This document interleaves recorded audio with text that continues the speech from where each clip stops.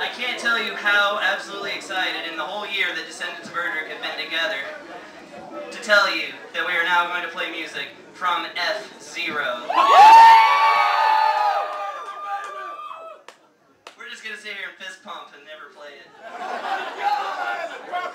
The game is that good. Alright, here we go.